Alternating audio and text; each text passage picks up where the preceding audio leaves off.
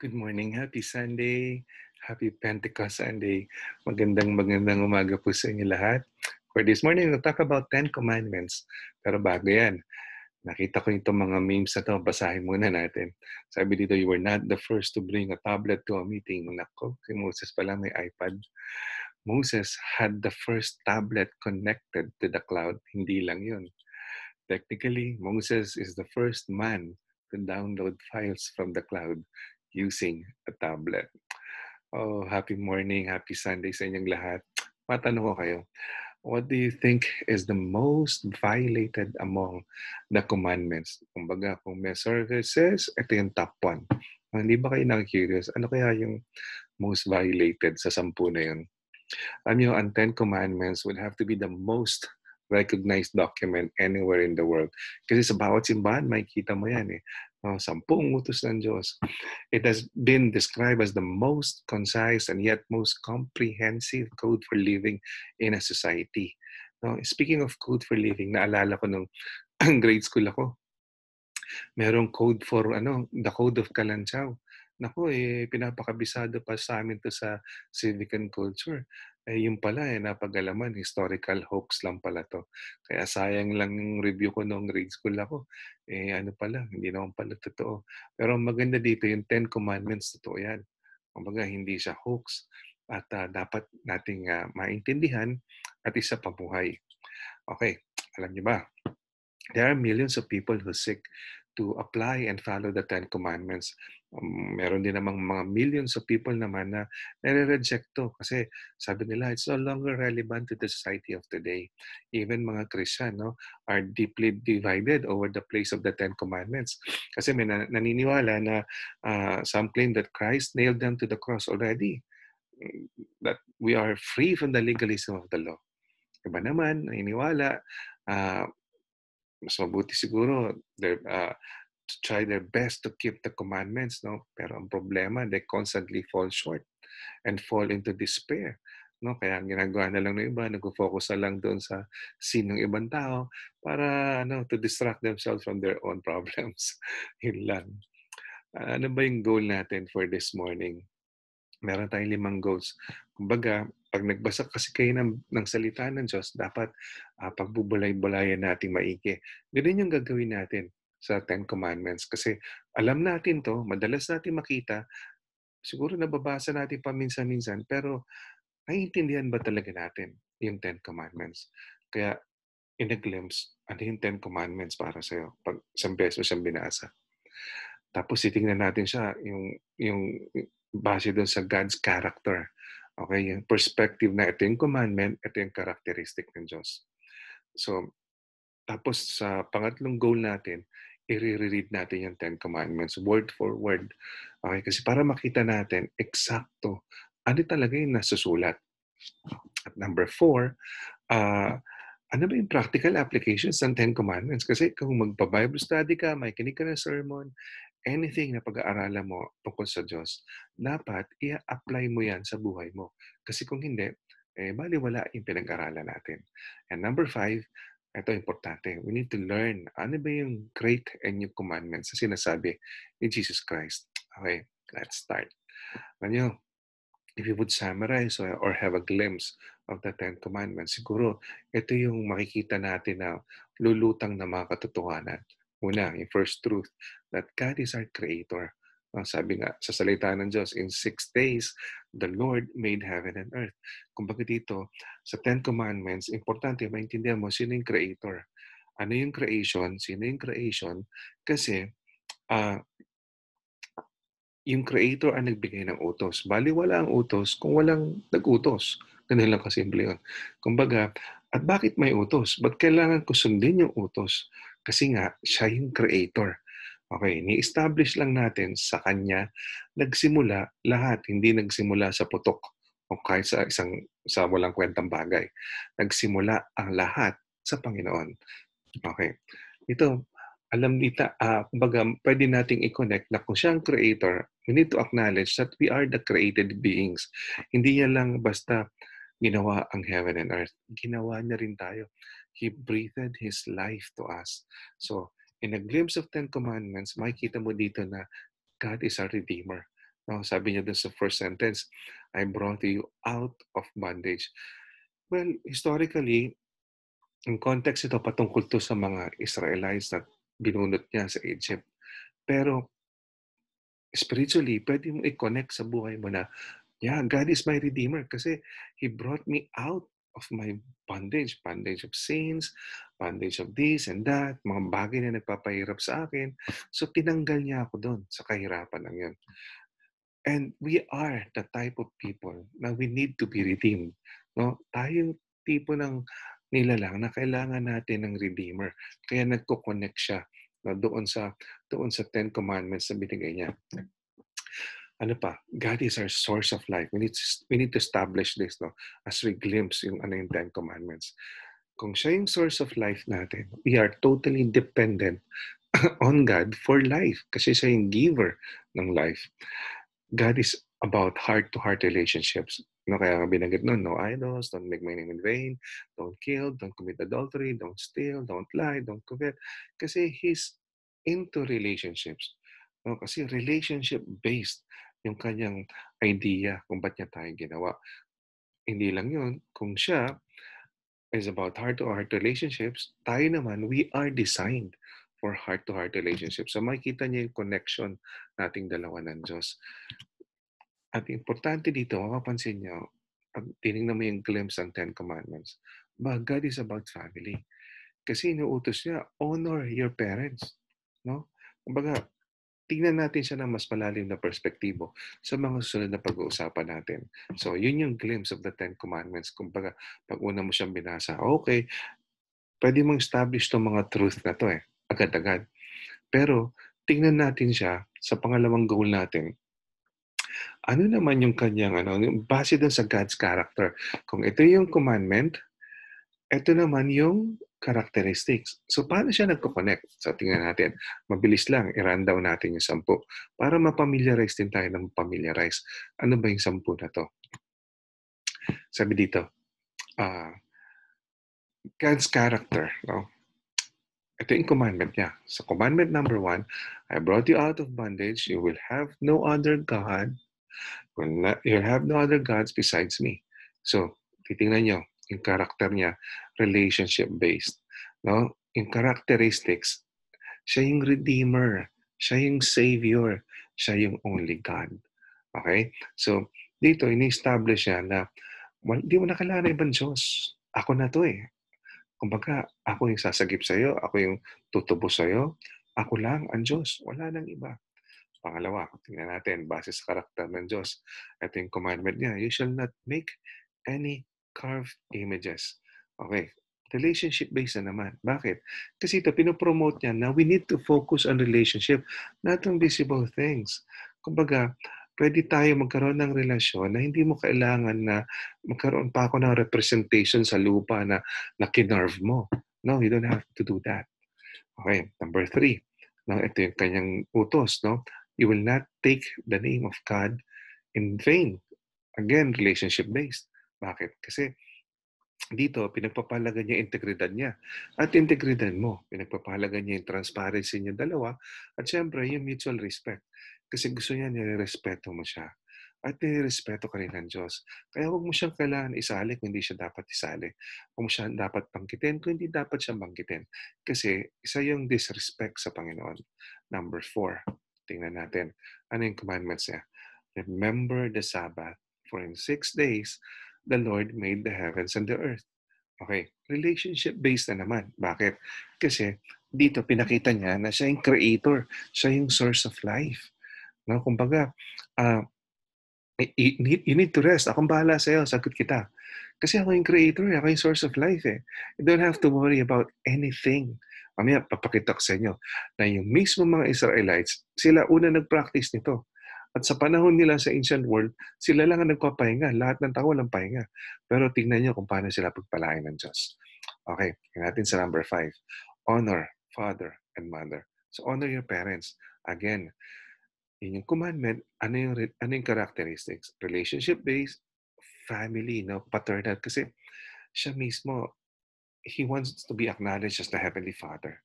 Siya yung provider, siya yung, alam mo yun, siya yung, siya yung tatay eh yung yun yung isa sa pinakamasarap na na ano, eh, na na kumbaga metaphor ng Panginoon sa atin. Siya yung tatay, tayo yung anak. Kumbaga dependent tayo sa tatay natin. Number six, sabi niya, commandment niya, you shall not kill. Okay? Again, relationship-based. Kasi malaki yung pagpapalaga niya sa buhay. Kasi siya may bigay niyan eh.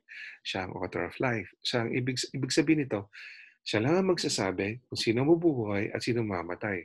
Kung sino yung panganganak at sino ililibing. Kasi siya yung creator. So hindi mo pwedeng kunin sa kanya yun. Kaya nga, hindi tama. Dapat na magpakamatay. Kasi importante na igalang natin yung buhay na binigay sa atin ng Diyos. Kasi ang Diyos, no, para sa Kanya, relationships are forever. Kumbaga, siya yung source of life. So, dapat irespeto natin yan. Number seven, no, ang utos niya, you shall not commit adultery. Ano ibig sabihin? Relationship-based na naman. Isa sa napakagandang metaphor din ng Panginoon sa atin, siya yung groom, tayong bride, yung church. So, imagine nyo, ah, kumbaga yung valid intimate relationships are forever para sa kanya. Kumbaga, yun yung, doon niya tayo tinitingnan. So para doon sa mga taong pinag-isa niya at naging mag-asawa, eh inuutos niya na huwag kayong maghihiwalay. At huwag kayong gagawa ng paraan para kayo yung maging dahilan para maghiwalay din yung ibang mag-asawa. Number eight, you shall not steal. Okay, yun yung commandment. Relationship-based na naman. Bakit? Kasi Oh, kumbaga relational eh. Gusto ng Diyos, relational tayo. Mag-focus ka sa akin. Huwag kang material focus. Ang tendency kasi, kapag material focus ka, mapipilitan kang magnakaw kahit ayaw mo. Kahit hindi mo nga kailangan eh. Oh, bigyan ng classic example. Ang isang politiko, napakayaman, napaka-famous, napaka-wealthy, napaka-powerful. Kailangan niya pa ba magnakaw? Hindi. Dahil sa greed, dahil material focus ang, ang isang tao, mas maiintindihan ko pa. Pilit ko nang iintindihan kahit mali. Ang isang taong nagugutom, magnakaw. Kasi kailangan niya kumain. Okay? Pero ang isang tao na nasa kanya lahat, magnanakaw pa rin, ibig sabihin, material focus ka talaga. Hindi ka nagnakaw dahil may need ka. Yung sinasabing magnakaw kayo, masama nga magnakaw. Kaya nagugutom ka, no? Or sagana ka. Kung nagugutom ka, huwag kang maglala. God will provide for you. Kapag magandang kalooban mo at nasa kanya-kanya, mer- meron ka relasyon sa kanya, sabi niya nga, you need to be into relationship. Sagot kita. You don't have to worry. But for those people na material focus, kahit na you have everything in this world, magnanakaw ka pa rin. Bakit? Kasi yun ang focus mo. Kumbaga, yun yung gusto mo. Yun yung Diyos mo. So, sabi niya dito, I'm a relational God. Don't be material focused so that you won't be tempted to steal. Number nine, you shall not lie. Huwag ka daw magsisinungaling. Again, relationship-based na naman. Bakit? Kasi dito pinapakita ng Diyos yung integridad. Okay? Siya may integridad eh. Sabi niya, I am not a man who will lie. No? Lahat na sinabi ko, pinangako ko, ginawa ko, at gagawin niya. So lahat na nakasulat sa Bible, nangyari at mangyayari at nangyayari. So ibig sabihin, may integridad yung Diyos natin. If there's one thing na nagpapasunod sa maraming mananampalataya kay Kristo, ito yung integridad ni Kristo. Ito yung transparency ni Kristo.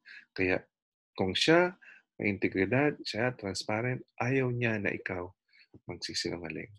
Number 10, you shall not covet. Huwag kang mainggitin. Sabihin mo sa katabi mo, huwag kang mainggitin. Uy, masama yan. Kasi tingnan niya, relationship-based na naman yung kanyang ano, commandment na to. Bakit? Akong creator eh. Akong source of life. Sagot kita.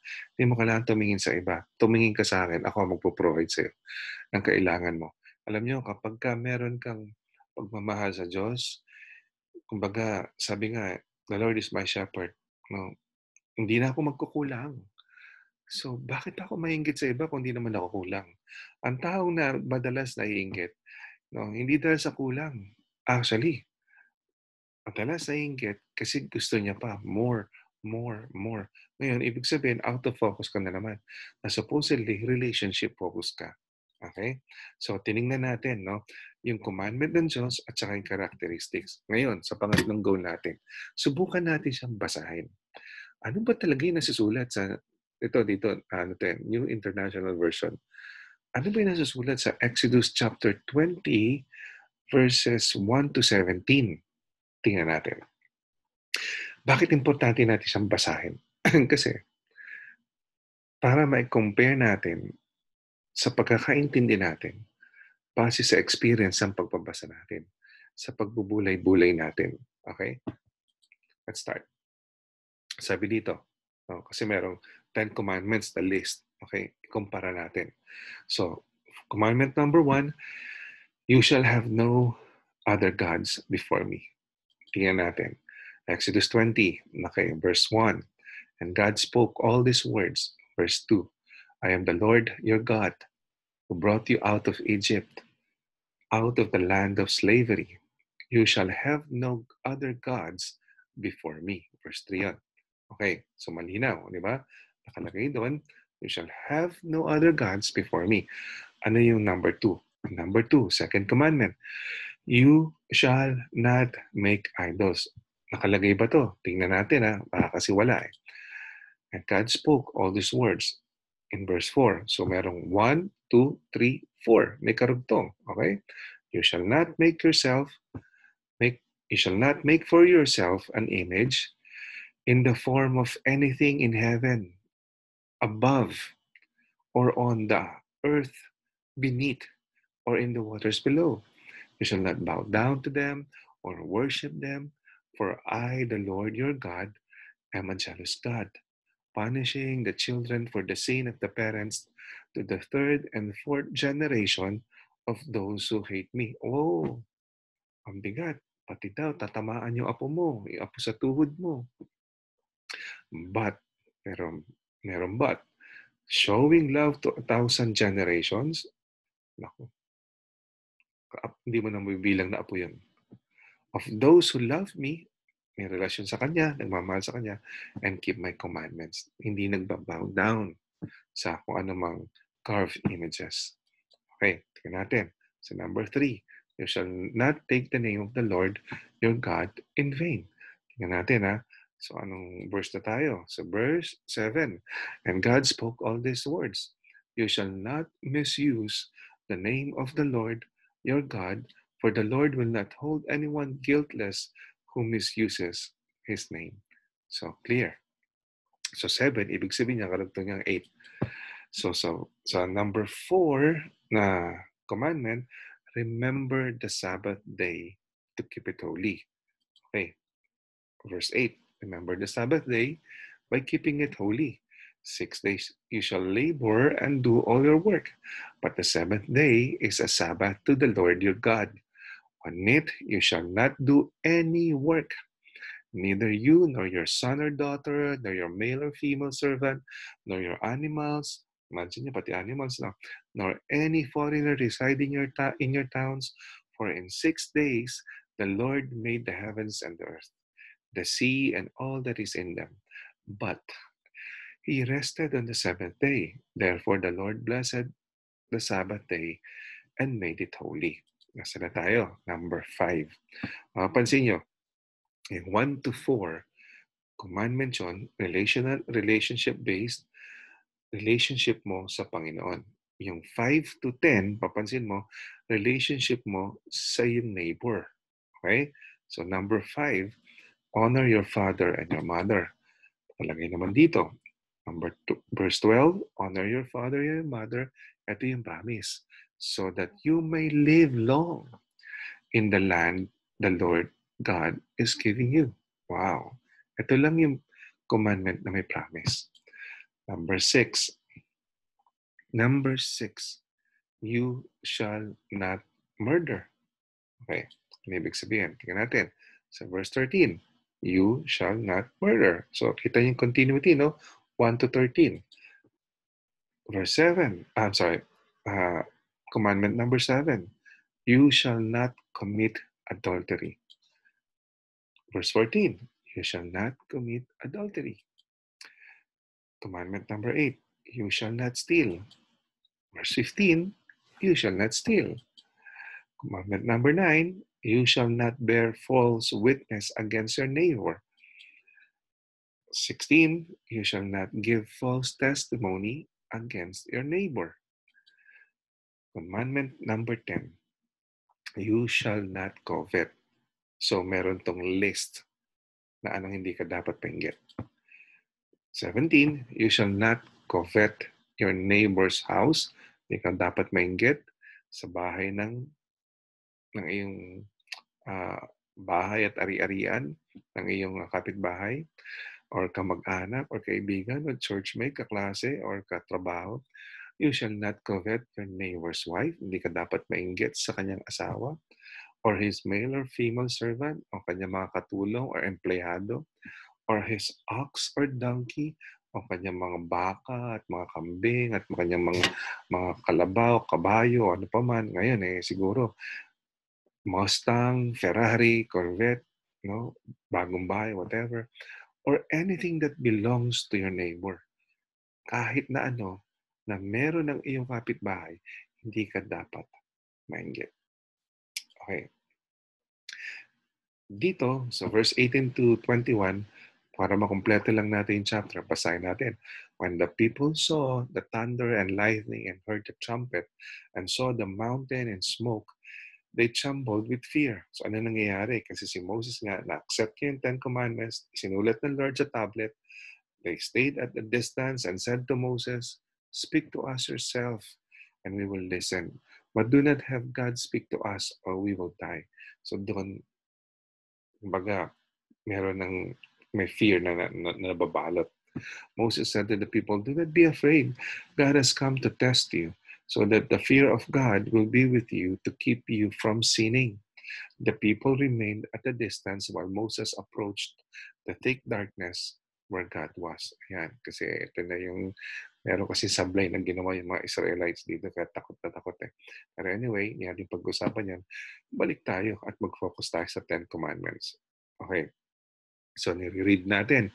Ito yung pang-apat na goal natin. Ano ba yung mga practical applications nitong Ten Commandments? Subukan natin. Okay. And God spoke all these words, saying, I am the Lord your God who brought you out of the land of Egypt, out of the house of bondage. You, commandment number one, you shall have no other gods before me. Ang ibig sabihin sa Tagalog, wala ka dapat ibang Diyos. Ako lang. Ganun kasimple. Wala nang iba. No? Ano ba yung pwede maging ibang Diyos? Pwede kasing ibang Diyos na madaming lumabas na Diyos before and after Jesus sa, sa historia. Pero isa lang yung Diyos. Si Jesus is before time. Si Jesus is before earth. Jesus is before history. Siya lang yung Diyos. Pero may ibang tao, ang Diyos nila yung fame. May ibang tao, ang Diyos nila yung money. may ibang tao, ang Diyos nila power. Alam nyo, bilib ako dun sa mga tao na ang Diyos nila, wala silang wala silang fame, wala silang pera, wala silang kapangyarihan. Tapos naging humble sila sa Panginoon, tinanggap nila bilang Panginoon tagapagligtas. Pero mas bilib ako dun sa tao na famous madaming pera, may kapangyarihan, at nag-bow down pa rin sa Diyos. Isa na dito siguro, mababanggit ko yung sikat na sikat na 8th Division champ, yung the fighting pride of the Philippines. Famous, madaming pera. Ngayon, senador, makapangyarihan, baka tumawid pa ng Malacanang, hindi natin alam ano. Pero imagine nyo, I mean, nasa kanya lahat. Kasi ang tao, pag nasa yung fame, nasa yung money, nasa yung power, feeling mo ikaw ng Diyos. Pero makaisip ka na baliwalay mo lahat ng to at sabihin mo, merong Diyos sa ibabaw mo. Big time. Lodi. Kumbaga, ang ganda ng ano, ang ganda ng puso ng tao na ganun. Kumbaga, kahanga-hanga, ika nga. Diba? Maliwanag, you shall have no other gods before me. Alam nyo, nothing else in life should concern us more than our desire to love and be loved by God. Yun dapat yung focus natin eh. To love and be loved by God. Yan, yung naging focus ng itong nabanggit kong mayaman na tao. Wala na sa kanya yung fame, wala na sa kanya yung pera, wala na sa kanya yung power. Ang focus niya, desire is to love and be loved by God. If we do have some other concern stronger to us than our love for God, it is not so much that we are breaking God's rules, but that we are not really in a relationship with God. Nakalungkot, ano? The other concern, ano ba to? Be money, power, security, recognition, sex, or anything else, it has become our God. Yan ang tinuro ng history. Yan pa rin ang nangyayari hanggang ngayon. Kaya, sinasabi ng Panginoon, ako lang, walang iba. Ako lang ang Diyos mo. Pangalawa, commandment number two. Ito, linawin nga natin to. Sabi to, ha, you shall not make for yourself any carved image or any likeness of anything that is in heaven above.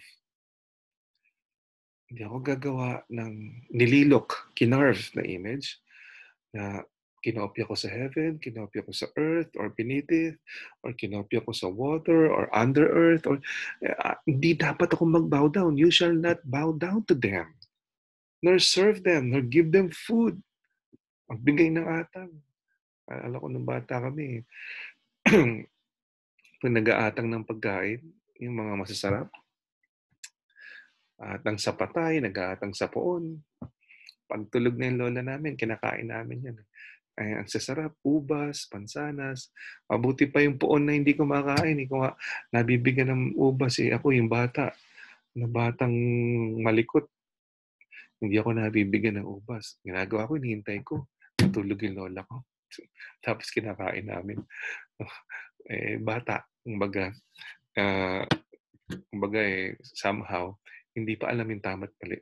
Pero mamaya pag-usapan na natin yung masama magnakaw.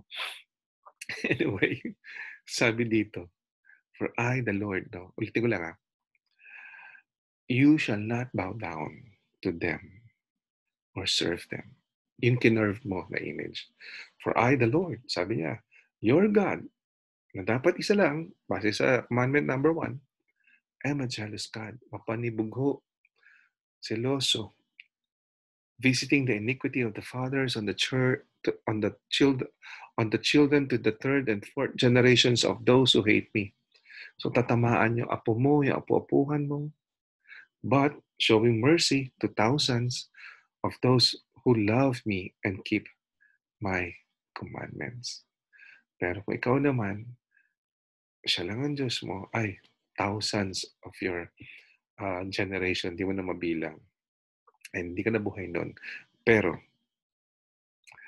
ano ka, uh, pagpapalain ng Diyos.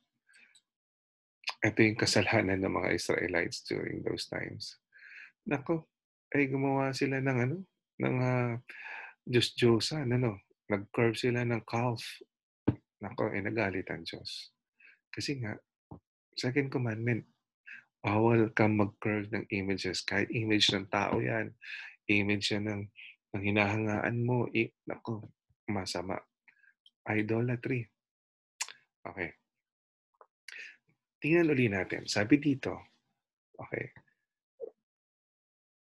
commandment number one, you shall have no other gods before me. Commandment number two, you shall not make idols. Eh, bakit ganun? Kasi sa commandment number six, ano, sa commandment number 6, you shall not murder.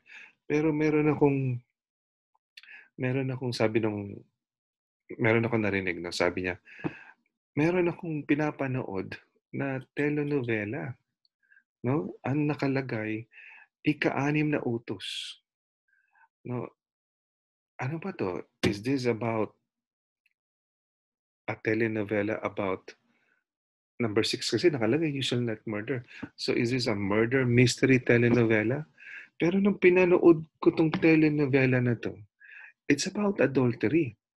So hindi kaya sila nagkamali kasi nakalagay anim na utos eh. Actually, hindi naman sila nagkamali kasi binase nila yon sa Ten Commandments ng mga kapatid natin no sa sa ibang sa ibang denomination. No, sabi dito, So verse 1 nila, I am the Lord, kasi na-adjust eh, nagkaroon ng adjustment. I am the Lord, tingnan natin yung difference. No? Sabi sa verse 1 nila, I am the Lord your God, you shall worship the Lord your God, and Him only shall you serve. Tingnan nga natin sa atin, kung ano, kung parehas. You shall have no other gods before me. Parehas naman. Dito sa atin, you shall not make idols. Okay? Kasi tandaan niya, binasa natin isa-isa. Tingnan natin, tinignan natin, word for word. Kaya importante yun eh. Tingnan natin verse by verse. So merong verse 1, 2, 3, 4.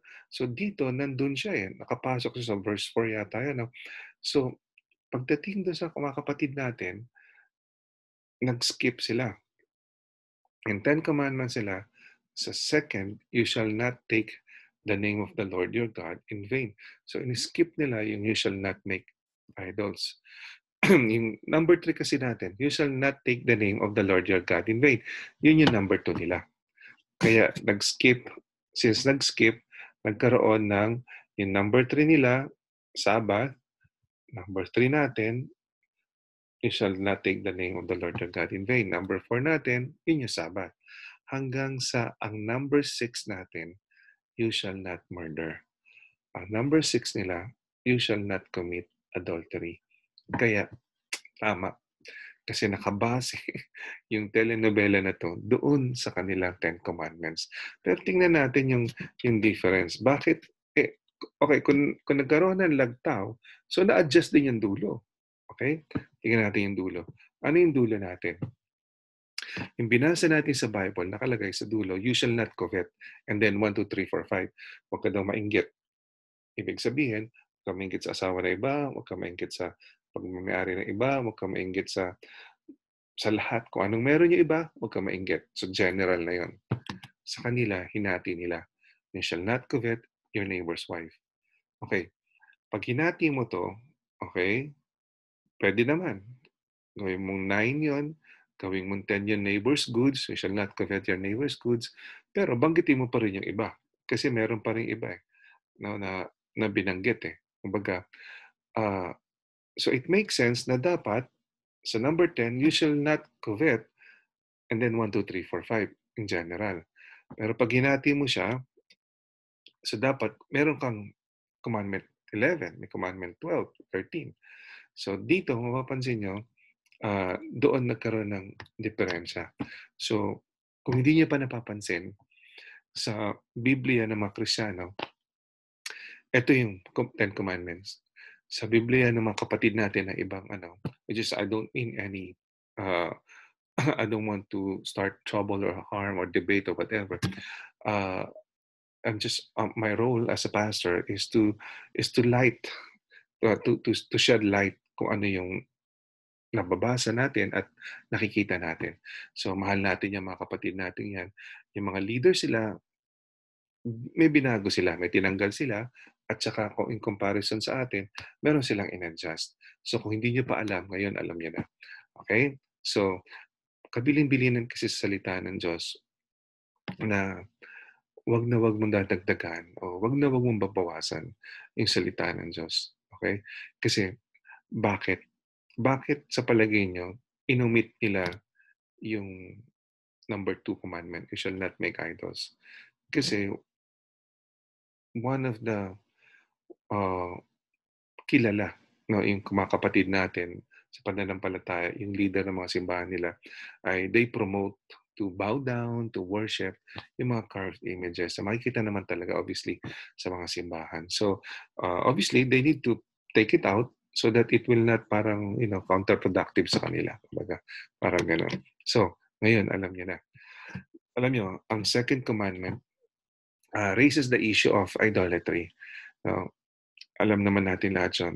Idols, ano ba yung idols? These are gods of our own creation.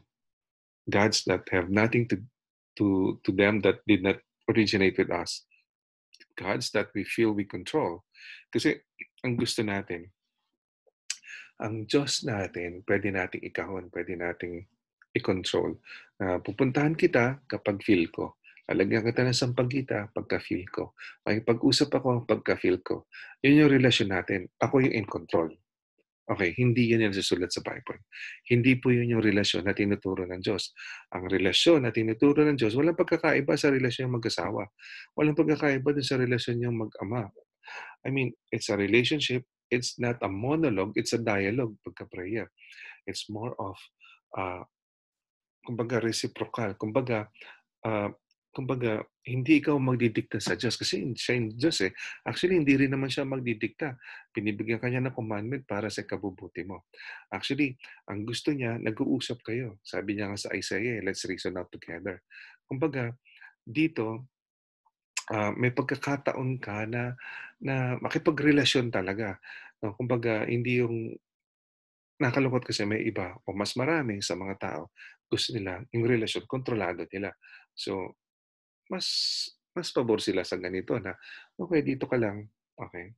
Okay, ito difference yan. Pag nagkasunog, yung Diyos mo, sasagipit mo.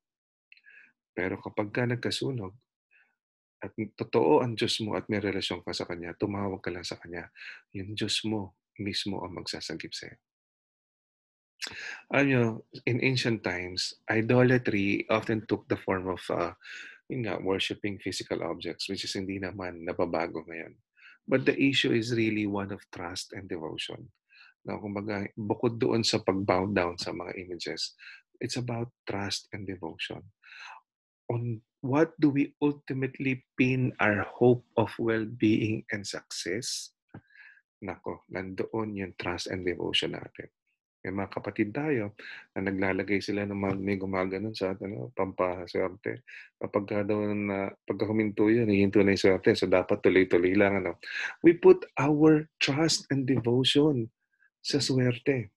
We must put, that's idolatry. We must put our trust and devotion sa Panginoon. Siya kasi yung totoong Diyos. We must put our love our, our faith to God, not into anything else, not into any carved images, not onto our, some, kahit sa poster na idol natin. Anything that is not capable of fulfilling our hope, that is anything other than God is an idol. Maliwanag po yun. Whether or not it is a physical object. Physical man o hindi, idol yan. Pwede rin natin maging idol yung asawa natin. Dahil mas may panahon tayo, mas wino-worship natin yung asawa natin kaysa sa Diyos. Pwede yung anak natin. Pwede yung trabaho natin. No? Kumbaga, wag tayo mag-bow down dito. Pwede rin yung bank account statement natin. Wow, laki-laki na ng pera ko. Wino-worship na yan. Maraming bagay na pwede maging idol. So, hindi lang curved images. Number three, ano yung practical applications sa commandment number three? You shall not take the name of the Lord your God in vain. For the Lord will not hold him guiltless who takes his name in vain. Yan. Yung mga madaming kanta, madaming pelikula, madaming alam mo yung mga usapin na no, kailangan may mura, kailangan gamitin salita ng Diyos. Diba? Nagulat nga ako eh. Ang yung ano, yung G's, yung expression ng G's. Your hair smells ter- terrific. Yung G's pala nun, galing from Jesus, no? Uh, kumbaga, uh, may iba, pag nagalit, sinasabi salita ng Diyos, no? Or kaya, uh, uh, pangalan ng Diyos. O kaya, kapag ka expression, kumbaga, OMG or whatever. So, uh, ako nga, one of the thing na kailangan kong maging maging mas uh, aware ako. Bawa, kakanta sa karaoke, may binanggit yung pangalan ng Diyos, usually ni-skip ko na yun. Kasi, yun, to give respect to God. No? Kasi, hindi naman siya kailangan dun eh. Napansin ko nga yung hari ng Thailand. Kapag may sinabi ka na masama laban sa hari ng Thailand, lagot ka, huliin ka. Kasi batas yun. Hindi ka pwedeng magsalita ng laban anything sa hari ng Thailand. Eh, tao lang yun. Paano pa kaya yung Diyos? Di ba? He deserves more respect. He deserves more, uh, kumbaga, pagpalaga niya, integridad niya. Kung meron tayong papapalaga sa tao, sana ganun din sa ating Panginoon. Ang third commandment literally prohibits God's people from making wrongful use of the name of God. Yun lang yun. No? Kumbaga, uh, doon doon nakafocus yun. Kasi ang pinapatunayan ang ang inaangat natin dito yung integridad ng Diyos yung respeto natin sa kanya. Kumbaga uh, this not be restricted to the name Yahweh but includes God Jesus Christ and so forth. Actually sa word natin mga Pilipino mahirap basahin to. Kasi wala tong ano eh sa Hudyo wala tong uh, vowel. Puro consonants lang. Uh, but what is wrongful use? Ano ba yung wrongful use ng pangalan ng Diyos? It includes, of course, disrespectful use. Hindi naman kailangan banggitin, binabanggit natin. Oh, pare ko. Oh, diba? Ano ba naman ito? I mean, these are songs na, kumbaga, ito, hindi na dapat natin nilagay. Yung patungkol sa Diyos, o ano may patungkol sa, sa, sa, ano, kasi anong connection niya? Doon at uh, parang nag-glorify ba natin siya. If we can sing it as a worship song, di ba? I don't think so. Pero, yun na, I mean, respeto. May respeto tayo sa magulang, sa hari, I mean, much more dapat sa Diyos, di ba? Kumbaga, it includes, of course, disrespectful use in cursing, slandering, and blasphemy. Number four, remember the Sabbath day. So, to keep it holy, six days you shall labor and do all your work. But the seventh day is the Sabbath of the Lord your God. In it you shall do no work, nor your son, nor your daughter, nor your manservant, nor your maidservant, nor your cattle, nor stranger who is in, within your gates. For in the six days the Lord made the heavens and the earth, the sea, and all that is in them, and rested the seventh day. Therefore, the Lord blessed the Sabbath day and hallowed it. Ha, kailangan ba talaga natin basahin yan? Kailangan. Kasi pag pinabasa natin, mas naiintindihan natin. Tingnan niya. Merong comic strip dito. Sabi nito, our grandfathers call it the Sabbath. Our fathers call it Sunday. And now, the generation today, they call it the weekend. We need to understand sa mga kapatid natin, mga Muslim, ang Sabat ata nila Friday. Sa mga kapatid natin sa Badista, Saturday. Mostly sa mga Catholic, sa mga Christians, ay, ay Sunday. So, dito, importante na i-observe natin na mamahinga tayo. Mamahinga hindi lamang physically, mentally, emotionally, psychologically, at higit sa lahat, spiritually. Alam nyo, no other ancient people had the privilege of resting one day in seven. Now, nung, nung unang panahon, mga Israelites lang ang rest day. The others, no, on the other hand, it, uh, uh, kumbaga, uh, yung ibang mga kalaban nila o nakapalibot sa kanila, walang rest day. No, since nag-rest sila ng isang araw sa isang linggo, no, it required an extraordinary trust in God's provisions. Relationship based na naman. Sabi ng Diyos, pahinga ka, pambala. Magpo-provide ako. Kasi tingnan niya, let's make use of common sense. Bawa, sabi ng boss mo, huwag kang pumasok. Susweldohan kita. Pambahala. And that's that's a company policy. Pambahala. Eh, matigas sa ulo mo, pumasok ka pa rin. Kakaroon, magagalit ang boss mo, kakaroon ka ng write-up, Baka hindi ka niya sweldohan, tanggalin niya yung blessing na yan.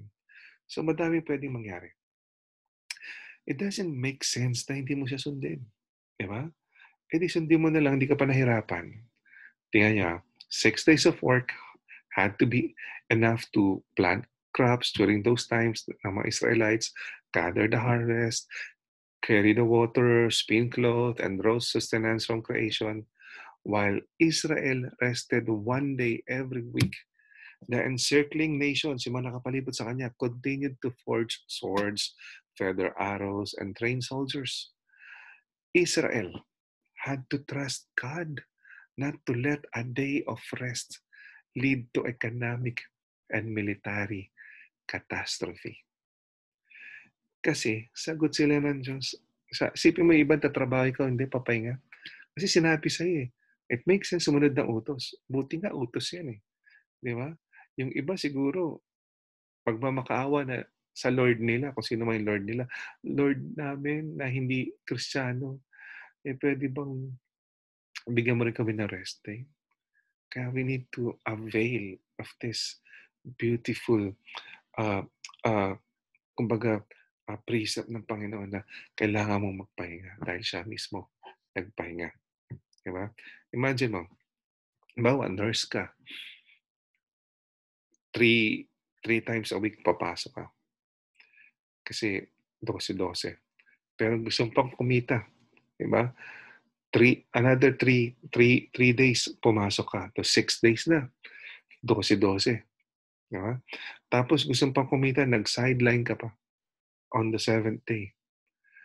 So, I mean, ang dami mong pera sa bangko, pero puwede kang magkasakit. Pinatunayan nga ng COVID, eh, kalalakas ng mga nurses and doctor, naapektuhan sila, mga bata, may mga bata namatay. Ibig sabihin, puwede kang proteksyonan ng Diyos, nakapagpahinga ka na, nasunod mo pa yung commandment niya. It makes sense, na sundin mo na lang, 'di ba? Huwag kang mabahala. Kaya ka kasi ganyan, kaya ka nagpapagod na nagpapagod, nagpapagod kasi material focus tayo. Ang sabi natin kanina, we need to be relational focused. Magtiwala tayo sa Diyos. Number 5, honor your father and your mother, that your days may be long upon the land which the Lord your God is giving you. Alam niyo, importante na i-honor natin ang magulang natin. Sa totoo lang, for many people, good relationship with parents are the are the one of the joys of life. Of course, no, loving service to them is a delight, and obeying them, this commandment is easy. Eh paano pag yung parent mo hindi loving, hindi lovable, napaka EGR or extra grace required, no? But we are put to the test by this commandment when we find it burdensome to work on behalf of our parents kapag, no, we may have been ill-treated or neglected by them. Gusto nating kapante, masama yun. Hindi yun ang tinuro ng Diyos. They may be controlling noon, nung bata ka pa, nung dalaga ka pa, nung binata ka pa, no, meddlesome, mahilig mag uh, pakialaman ng buhay mo. So, nagtanim ka ng sama ng loob sa kanya. So, hindi sila lovable. Even if we have good relationship with our parents, sa totoo lang, no, there may come a time when caring for them is a major burden simply because of the time and work it takes.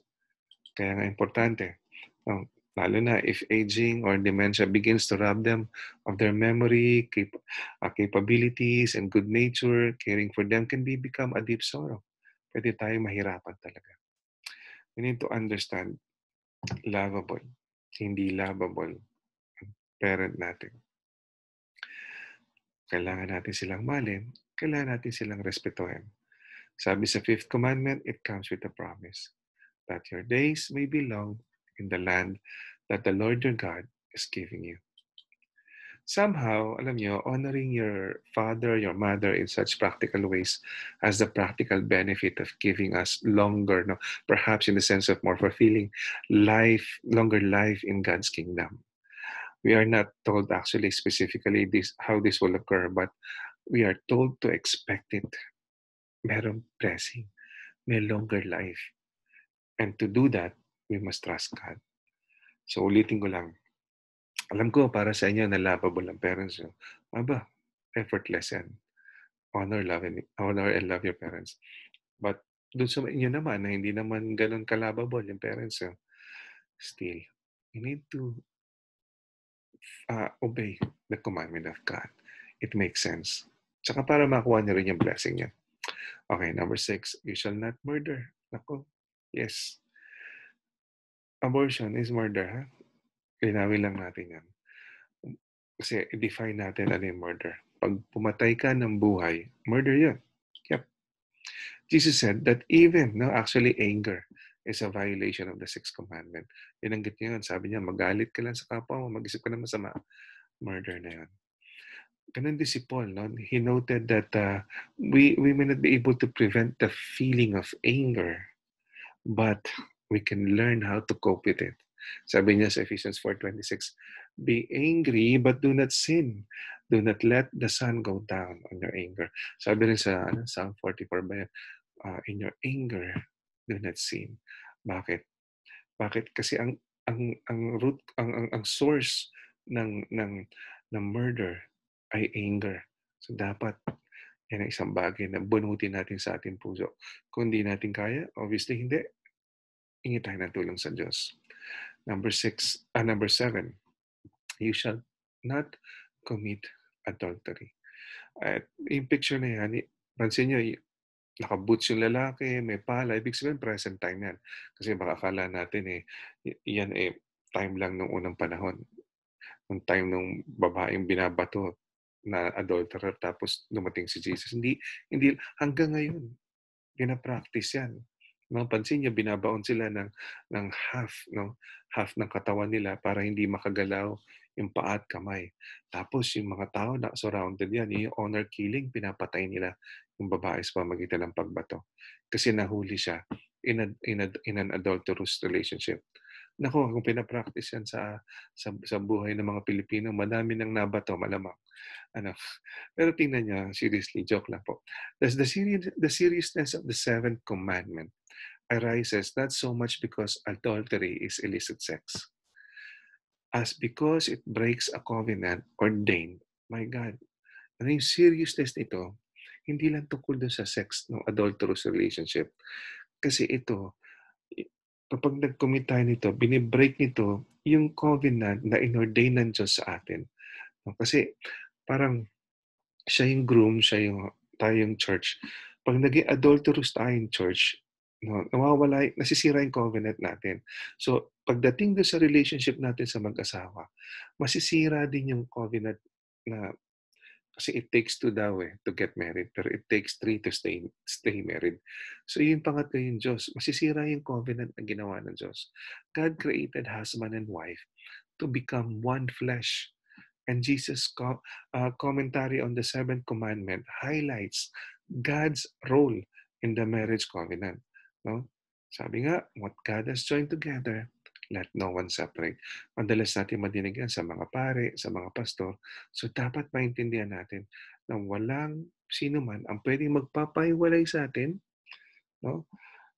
Sa, dito sa Amerika, may divorce. May mga denomination may divorce. In fact, in denomination na kinabil, kinabibilang ako, may divorce. Ino-honor yun. Pero, sana mas i-honor natin yung sinasabi ng Panginoon. What God has joined together, let no one separate. So yung, yung ordination, yung inordain niya na relationship, igalang natin. Huwag kang maging cause ng ikasisira ng ibang mag-asawa at huwag ka maging cause na ikasisira ng relationship niyong mag-asawa. Alam niyo, to commit adultery, no? is not only to have sex with someone you shouldn't, but also to break a covenant with the Lord God. In fact, the Old Testament frequently uses the word adultery and the imagery surrounding it to refer not to sexual sin, but idolatry. Konektado pa to, no? Sa commandment number two. The prophets often refer to Israel's faithfulness, faithlessness, I'm sorry, to its covenant to worship uh, to its covenant to worship God alone as adultery or whoring. Therefore, any breaking of faith with God of Israel is figuratively adultery, whether it involves illicit sex or not. Alala ko nga si Hosea, yung napangasawa niya, di ba? Adulterous. Yung nakasalan niya, iniwan siya, sumama sa iba. Kinuha niya, sumama sa iba, iniwan siya, sumama sa iba, kinuha niya. I mean, ano yung ganun yung pag-ibig ng Diyos eh. Ayaw niya na in, a, in an adulterous relationship. Gusto niya siya lang. Okay? So gusto niya loyal tayo. So ganun din sa asawa natin. Dapat maging loyal tayo. Number eight, you shall not steal. Ako, masamang magnakaw. Stealing is a violation of proper work because it dispossesses the victim of the fruits of his or her labor. Maga, pag-disrespect doon sa pagtatrabaho niya yan eh. Kumbaga pinagpagura niya yan. Ba't makukunin? No? Bina-violate mo yung karapatan ng ibang tao. Stealing occurs in many forms besides robbing someone. Anytime we acquire something of value from its rightful owner without consent, we are engaging in theft. Sa Tagalog po, tuwig. may kukunin tayo na valuable sa isang valuable va- valuable sa isang tao. Okay? Nang wala siyang pagkonsinte, nang wala siyang pagbigay sa iyo ng uh, ng uh, permiso, eh yun po ininanakaw natin. Pwede intellectual property, pwede po na na asawa niya, ganun din, no? konektado pa rin dun sa, ano, sa isa pang commandment. Uh, pwedeng uh, nakawin natin yung kanyang pera, kanyang kotse, pwedeng nakawin natin yung kanyang idea, no? madaming bagay. Actually, using deception to make sales, gain market share, or raise prices is stealing. No? Kasi ano yan eh, because the deception because the deception means that whatever the buyer consents to it is not the actual situation. So, halimbawa, nagtaas lang ng narula ng bagyo, taasan na kagad ng presyo. Okay, stealing po yun. O kaya, eh, uh, i-deceive mo ang isang tao para lang makabenta ka. Stealing yan. So, madaming klase ng stealing. Kaya kumuha ka ng malaking portion ng pera sa kumpanya nyo o mag-uwi ka lang ng ballpen mula sa opisina Stealing yan. Tingnan nyo nga naman, ano, may kasabihan tayo mga Pilipino, ang magnanakaw daw kapatid ng sinungaling. O, kaya magkadugtong sila. Number 8, yung wag kang magnakaw. Sa number 9, wag kang magsinungaling. You shall not bear false witness against your neighbor. Ano ibig sabihin? The ninth commandment honors the right, the one's reputation. So ang Diyos, integridad, Ginagalang ang reputasyon ng bawat tao. So ayaw niya nasisirain mo ang reputasyon ng kahit sinong tao. Bawa, workplace gossip. Diba? Yan ay serious offense sa mga policy manual ng kumpanya. Yung kaibigan na nag-tarnish ng reputation ng another na kaibigan dahil sa chismis, dahil sa maling pagpapakalat ng balita. Fake news. Nako, usong-uso ngayon yan. Diba? Paninirang puri slander, madami pang iba.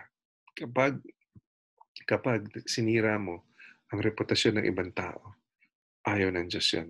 Pinagbabawal yan. Number 10, dito sa number 10, papansin niyo, hindi nakahiwalay.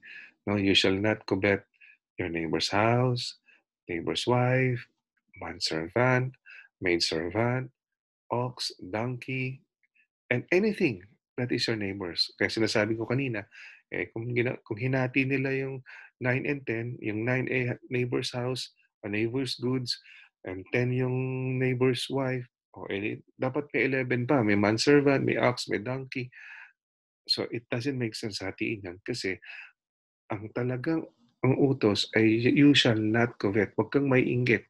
Huwag kang maging mapanibugo sa 1, 2, 3, 4, 5, 6 sa mga sumusunod. Ibig sabihin. Eh bakit pa bawal mainggit? Okay, kapatid. Kapag, simple lang, no? kasi practical application pinag-usapan natin.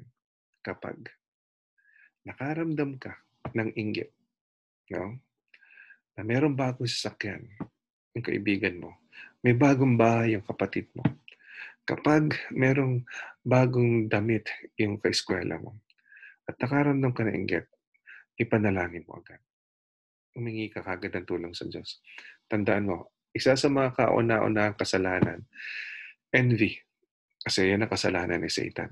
Nainggit siya sa Diyos. Kaya huwag mo nang tularan. Envy and acquisitiveness can arise anywhere in life, including at work, where status, pay, and power are routine factors in our relationship with people we spend a lot of time with. We may have many good reasons to desire achievement, advancement or reward at work, career, or family. But, but, envy isn't one of them. Nor is working obsess- obsessively out of envy for the social standing it may enable. No? Eh, di ba, pinagtunguran ko naman ito kahit na kung ikaw yung magsisikap para sa pamilya mo, para itaguhid mo ang pamilya mo, para sa ikakaluwalhati ng Diyos, okay yan approve yan. Pero kung ikaw ay sobrang sipag dahil naiinggit ka lang, at kasi gusto mong patunayan na mas magaling ka, at gusto mong makabili rin ng meron siya, at gusto mong lagpasan pa siya, no? O ano, sinong uh, Walang bigas. Meron na pong sako, bigas na lang ang kulang.